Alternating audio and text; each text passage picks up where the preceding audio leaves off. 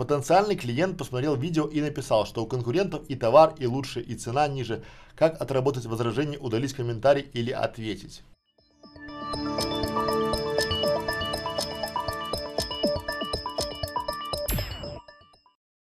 Я рекомендую в этом случае приходить вот э, в группу нашу, потому что я э, с комментариями работаю четко. Вот давайте так, просто, чтобы я обещал не продавать ничего.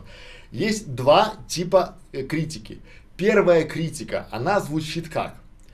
А, конку у конкурентов и товар лучше, и цена лучше. Вот ссылка на конкурентов. Посмотрите. То есть это полезная критика. И я бы не рекомендовал ее удалять, потому что ее надо отрабатывать. Вредная критика, когда приходит кто-то и говорит просто, чтобы что-то сказать. Вот, у вас товар ерунда, цена высокая, высокое сравнение с чем? Он же не знает деталей. Вы всегда должны, а, а, вот здесь хороший путь для маневра. Сделать хороший маркетолог всегда из этой песни, которая там, ну, из этой вот, а, я называю это песни, да, из этого момента сделает интересный дискус.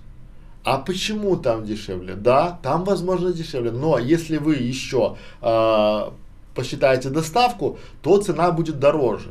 Давайте обсуждать, давайте договариваться, да? Да, там цена дешевле, но эта камера, она на два года младше, чем наша камера. И поэтому, естественно, наша закупочная цена такая, поэтому я не понимаю. Либо там можно пойти вообще в контрнаступление и сказать, что, ну, как вариантом, да, что э, если закупочная цена камеры, допустим, там 20 тысяч рублей у поставщика, у официального поставщика, я не понимаю, как она может стоить 19 900. Нет, хотя понимаю, возможно, эта камера где-то была ударена, покоцана, либо возврат, и поэтому ее продают, продают по такой по цене закупки, чтобы побыстрее избавиться от товара.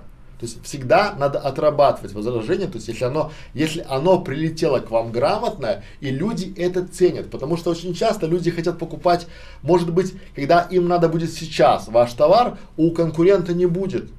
И вопрос будет то, что вы не боитесь этого всего.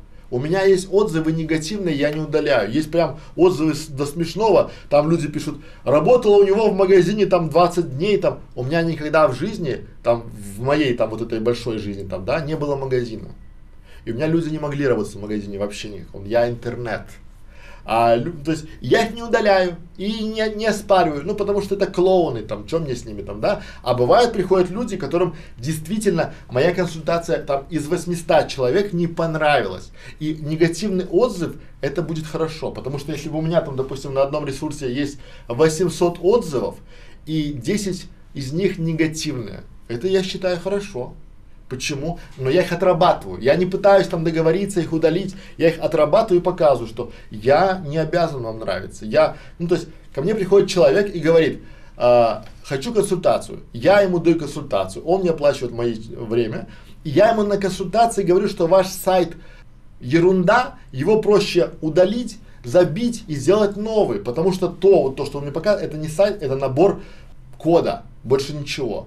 А он этого не ждет. Он ждет, что я скажу, о, это чудесный сайт, я такого никогда не видел, э, как, возьмите меня, давайте я буду вам, э, это вот там, да? И ему, конечно, не нравится то, что я ему сказал. А еще бывает вот осень, либо весна, у людей бывает обострение. И люди понимают, что если у вас среди 800 отзывов 10 негативных, там 10%, то это нормально. Вы не можете всем нравиться. И это то, что вы не скрываете, эти негативные отзывы, я считаю, делает вам честь. Потому что когда ты приходишь к человеку, и у него там 2000 отзывов, и все положительные, ни одного отрицательного, думаешь, эх, накрутил. Так? Ну вот так вот.